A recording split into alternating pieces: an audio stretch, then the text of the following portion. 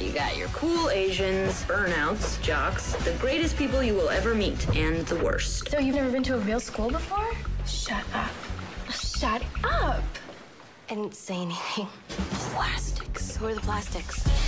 They're teen royalty. That's Karen Smith. She is one of the dumbest girls you will ever meet. I'm kind of psychic. Really? It's like I have ESPN or something. Gretchen Wieners.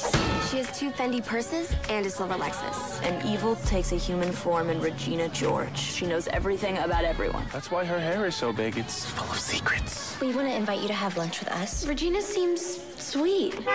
Get in, loser. We're going shopping.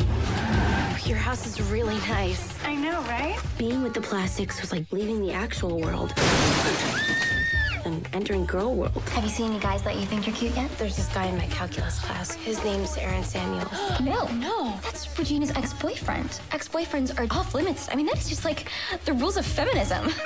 Gretchen told me that you like Aaron Samuels. I could talk to him for you if you want. Really? You would do that? You're so hot. She's a life ruiner. I knew how this would be settled in the animal world.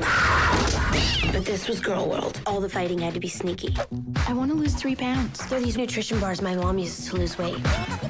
It won't close. It's a five. You could try Sears. Uh-uh. Why are you eating a Kälteen bar?